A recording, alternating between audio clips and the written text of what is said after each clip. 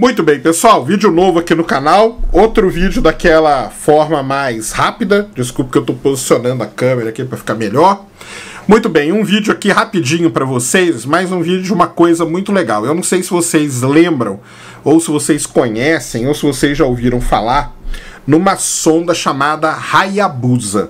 É uma sonda japonesa, a gente teve a Hayabusa 1, que ela coletou amostras de um asteroide, trouxe para a Terra e tudo mais, e agora está no espaço a sonda Hayabusa 2. A Hayabusa 2 foi lançada em 2014. Provavelmente muita gente aqui não vai lembrar nem do lançamento da Hayabusa 2, quanto mais do que era a missão dela, né? A missão da Hayabusa 2. A missão da Hayabusa 2 é chegar em um asteroide chamado Ryugu. Todo mundo lembra aqui da, da Osiris Rex, né? A Osiris Rex vai chegar no Bennu e ela vai com uma colherzinha lá, vai arrancar a amostra dele, vai colocar numa tampa e mandar para a Terra. A Hayabusa 2 é basicamente a mesma coisa.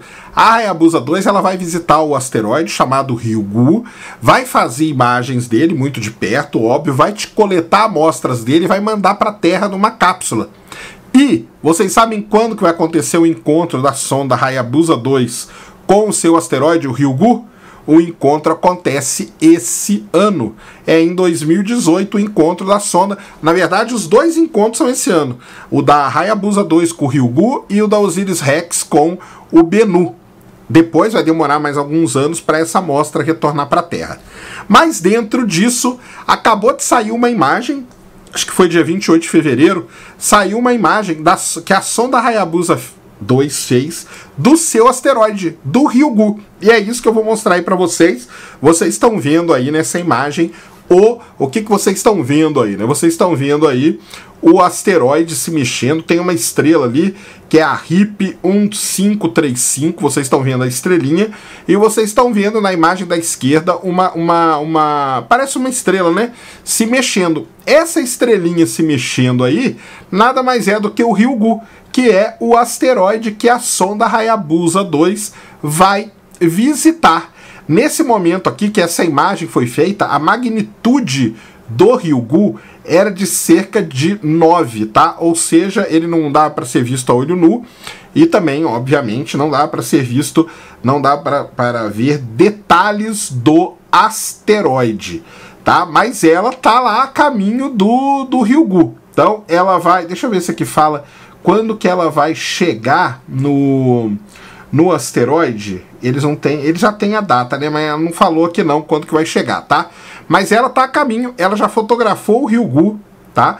A distância que ela fez a imagem foi de 1.3 milhão de quilômetros. E a Hayabusa 2 está rumando em direção ao asteroide que está na constelação de peixes. Então, muito legal isso aí, né? Então vocês estão vendo, esse ano guardem essas duas datas, tá? Essas duas datas não, guardem essas duas sondas.